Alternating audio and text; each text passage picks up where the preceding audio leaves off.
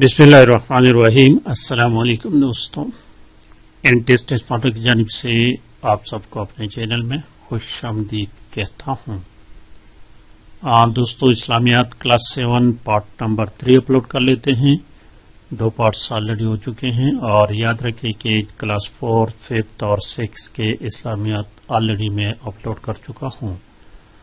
तो चलिए आज का पार्ट शुरू करते हैं। पार्ट नंबर तीन और एक्सरसाइज शुरू करते हैं। देखिए दोस्तों दिस इज़ द एक्सरसाइज रसूल करीम सल्लल्लाहु अलैहि वसल्लम जब तक मक्का में रहे, मुसलमानों ने कुरैशी मक्का के बेपनाह, मजालिम बर्दाश्त किए। हिजरत मदीना के बाद मक्का के काफिर व मुशरक हो गए। किस चीज़ के मुशार इस्लाम मुखालिफ तमाम ज़ोर और कबाइल से।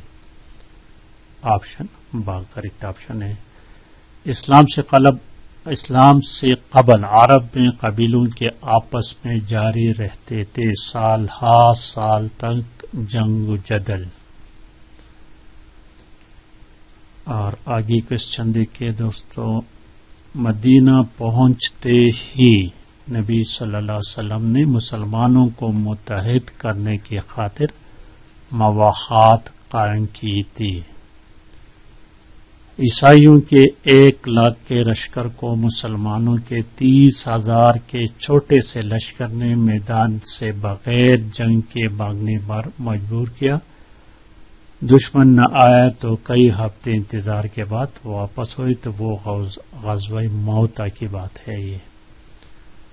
और आगे की बात देखिए दोस्तों, आपके कायम आप के कायम किए गए पुरअमर और महफूज माशरे में मुल्क के एक कोने से दूसरे कोने तक सफ़र करने वाली औरत को जरा खौफ नहीं था किस चीज़ का? कीमती जेवरात के लुट जाने का। नेक्स्ट एक्सरसाइज देखिए दोस्तों। अपने मिजाज या पसंद के खिलाफ किसी भी बात या अमल को बगैर शिकवा किए बर्दाश्त करना। सबर कहलाता है।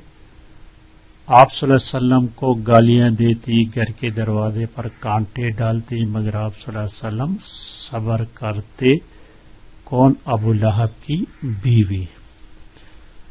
नेक्स्ट देखिए दोस्तों, मक्का मुकरमा मक्का में आप वसल्लम और आप वसल्लम के साथियों को सख्त तकलीफें दी गई।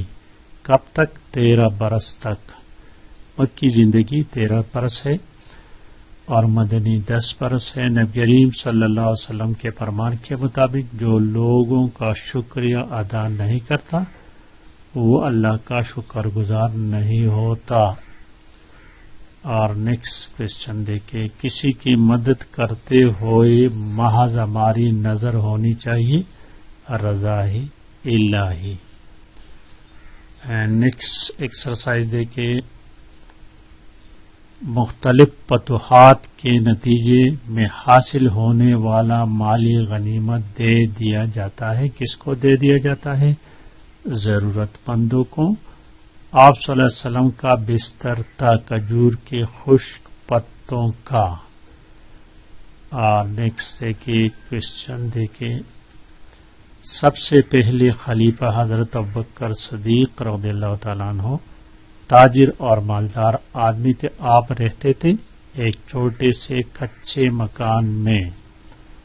हज़रत उमर फारूक रौदल्ला दुनिया के कई ममालिक का हुक्मरान होने के बावजूद सादा ज़िंदगी गुजारते थे।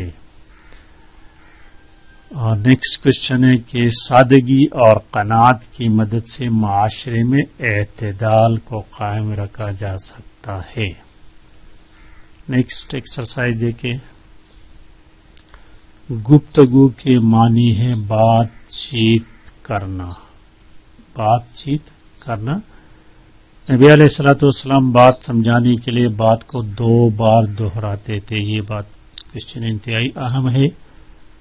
और आगे देखिए हदीस के मुताबिक, हदीस के मुताबिक जन्नत उस शख्स को जन्नत की जमानत है जो हक पर होने के बावजूद झगड़े से बाज आए।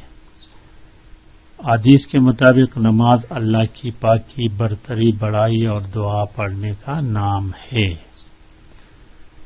और नेक्स्ट क्वेश्चन है कि कुरान मजीद के मुताबिक सबसे बुरी आवाज़ गधे की है। सबसे बुरी आवाज़ गधे की है। नेक्स्ट है कि मियाना रवि का मतलब है दरमियानी राह पर चलना। और कहते हैं कि जिसने मियाना रवि इख्तियार की, वो कभी मुफलिस नहीं होगा, मोहताज नहीं हो सकता। मियाना रवि से काम लेने वाला।